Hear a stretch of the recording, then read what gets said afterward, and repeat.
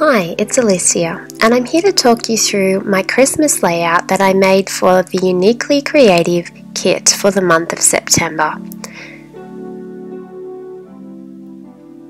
To begin with, we need to cut Minty following the lines on the paper.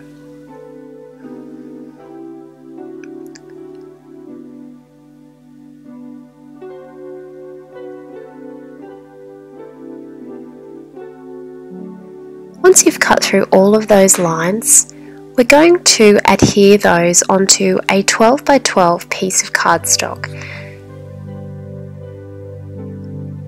We're going to have a little gap between each of the wooden panels and they're going to be in a sort of haphazard manner so they're not all in line but they're all they're one is low one is high one is low one is high once you've done that, just trim off any excess bits of paper.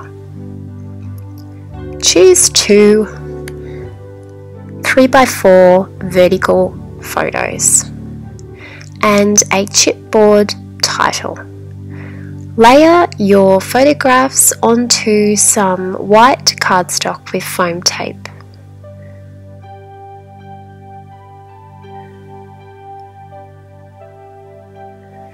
Adhere these to the layout in an overlapping diagonal manner. The bottom photograph is adhered with just normal double-sided tape. The top photograph is adhered with foam tape to make it stand out a little bit more.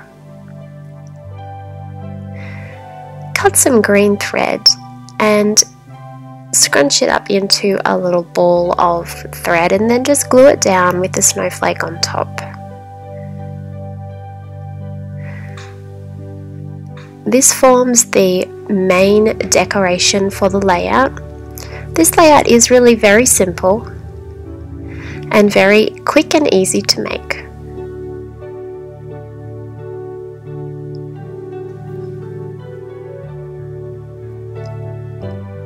Just adding a couple of snowflakes on the top corner there and it's now time to adhere the title which is going to be positioned just below the photographs. The snowflakes and the green thread are placed in a diagonal line with the photographs.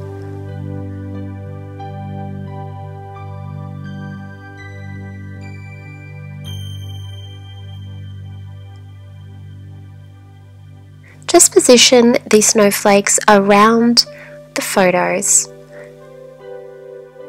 and add the green thread in for decoration.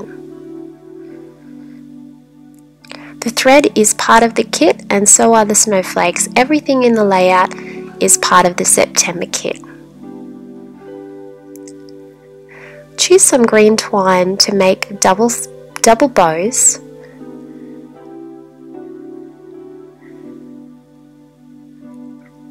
position at the bottom corner of a photograph.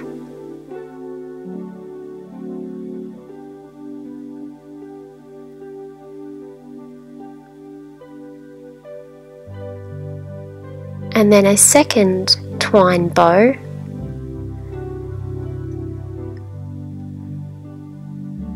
on the other corner of the photograph.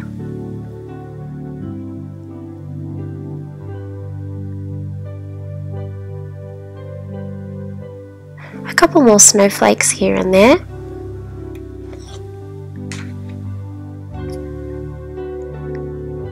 And another twine bow and then sprinkling with some white watercolour paint from the Uniquely Creative watercolour paint set.